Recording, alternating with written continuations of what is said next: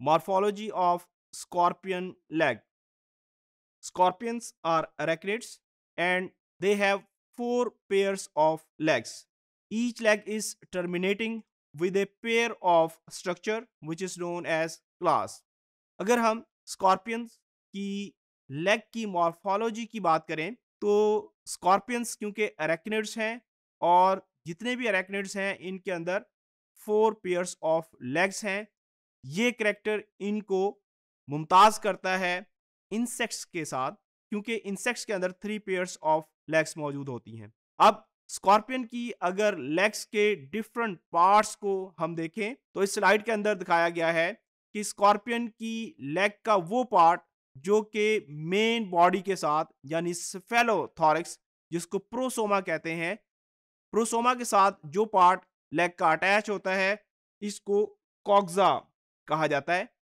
उसके बाद कॉक्जा के साथ एक छोटा सा जोड़नुमा स्ट्रक्चर है, जो कि ट्रोकेंटर कहलाता है। उसके बाद फिर एक नेक्स्ट फीमर है।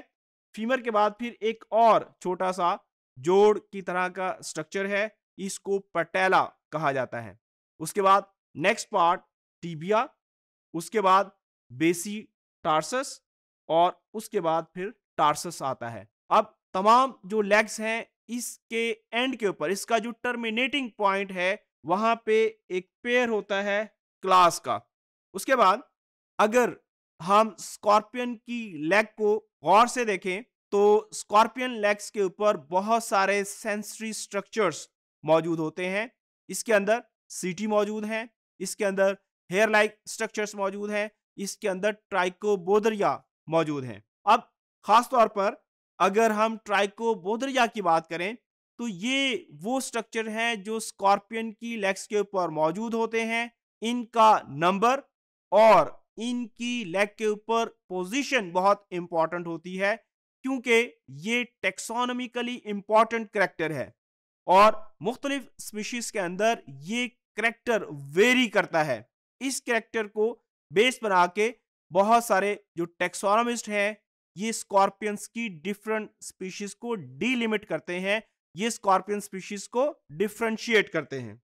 इस स्लाइड के अंदर दिखाया गया है कि जो स्कॉर्पियन है, उसका जो स्फेलोथॉरिक्स है, स्फेलोथॉरिक्स के साथ इसकी टांगे अटैच होती हैं।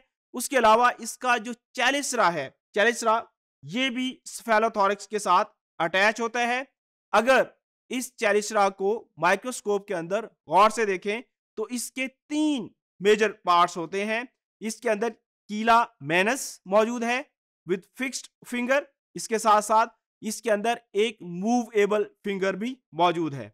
उसके अलावा जो स्कॉर्पियन का पेडिपल्प है, इस पेडिपल्प के अंदर कॉक्जा मौजूद है, इसके अंदर फीमर मौजूद है, इसके अंदर पटेला मौजूद है, इसके अंदर कीला मैनस और ये इसका मूवेबल फिंगर मौजूद है।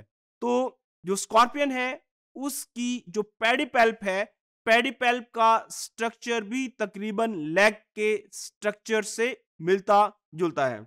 अब हमने ये बात की कि जो स्कॉर्पियंस है, इसकी बॉडी के ऊपर बहुत सारे सेंसरी स्ट्रक्चर्स मौजूद हैं। उनमें से बहुत सारे सेंसरी स्ट्रक्चर्स इनकी लेग्स के ऊपर भी मौजूद हैं। एक इंपॉर्टेंट स्ट्रक्चर जिसको हम सीटी कहते हैं, जो कि थिक हेयर लाइक स्ट्रक्चर्स हैं, जो कि इनकी लेग्स को कवर करते हैं। ये एक इंपॉर्टेंट सेंसरी स्ट्रक्चर है, जो स्कॉर्पियंस के अंदर मौजूद होता है। और ये स्कॉर्पियन की लेग्स के साथ साथ इसके बॉडी पार्ट्स और इसकी जो पेडिपेल्प है, वहाँ पर भी मौजूद होते हैं।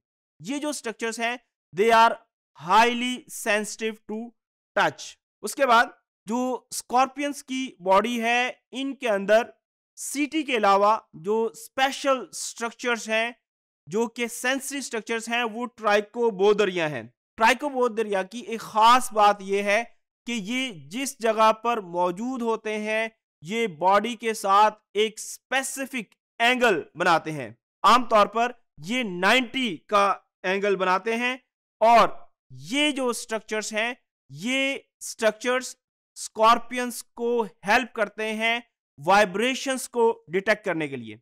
उसके अलावा जो स्कॉर्पियन की बॉडी है स्कॉर्पियन की बॉडी के अंदर और भी बहुत सारे सेंसरी स्ट्रक्चर्स मौजूद होते हैं, जो इनकी लेग्स की टिप्स के ऊपर मौजूद होते हैं और इनको हेल्प करते हैं मुख्तलिफ़ किस्म की वाइब्रेशंस को या मुख्तलिफ़ किस्म के जो सेंसरी स्टिमुलाई हैं, उनको डिटेक्ट करने में।